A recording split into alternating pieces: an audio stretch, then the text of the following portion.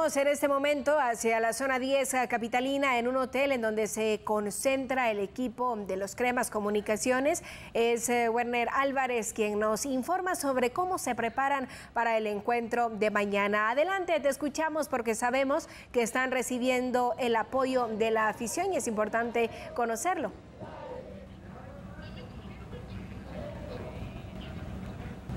Te escuchamos eh, con el informe desde la zona 10 capitalina. Adelante.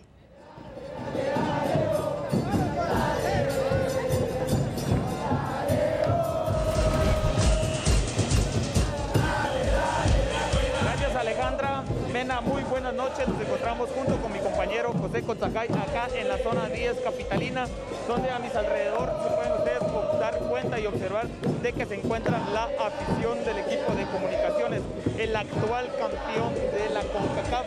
Recordemos que el partido anterior los cremas ganaron en tanda de penales y es por eso que se encuentran ahora en los cuartos de final, donde disputarán el partido de vuelta en contra del equipo de New York City, el actual campeón de eh, la MLS.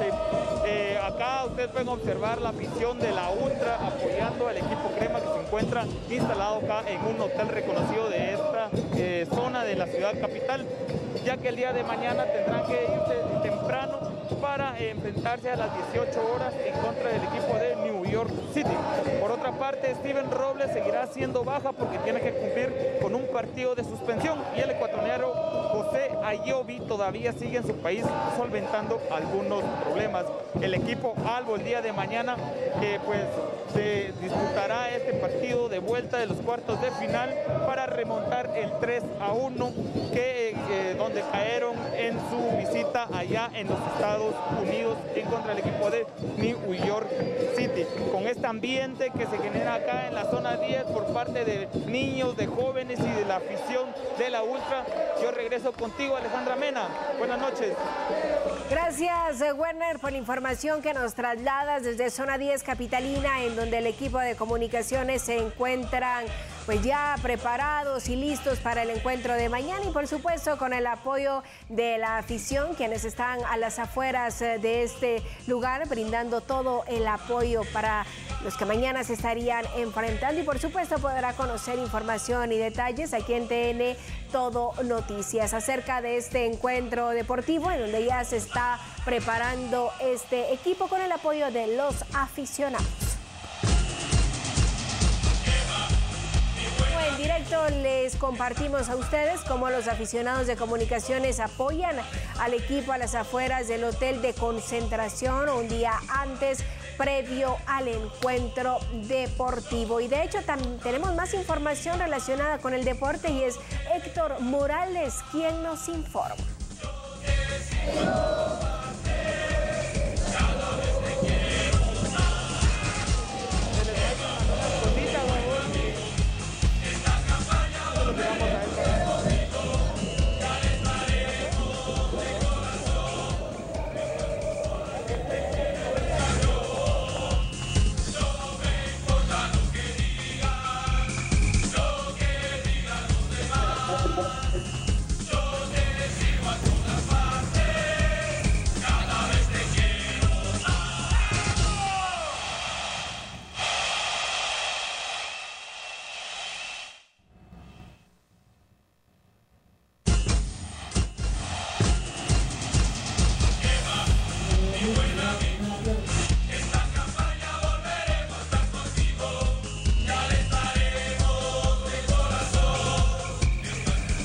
Gusto saludarles. Eh, buenas noches. Sí, un gran ambiente se vive en las afueras del hotel de concentración del equipo de comunicaciones. Vaya forma de hacerlo, de verdad que la hinchada ha venido, ha pues esta vez en alegría y ha demostrado el por qué pues el equipo de comunicaciones sigue siendo uno de los más grandes y más seguidos a nivel nacional hay que decirlo que lo que ha alcanzado ya en los últimos tiempos ha sido impresionante.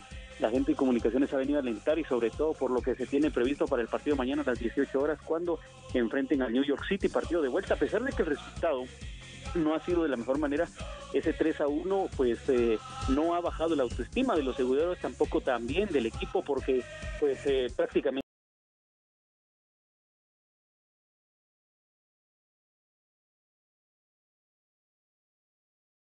demasiado para mantenerse allí dentro de la pelea porque el gol vale doble en esta ronda, así que prácticamente ha sido interesante lo que el equipo de comunicaciones ha hecho y por eso es que el público lo viene a alentar hasta acá, a las puertas del hotel, en donde está concentrado el cuadro de comunicaciones y ese gran ambiente, la fiesta que se vive ha sido sin duda alguna algo especial.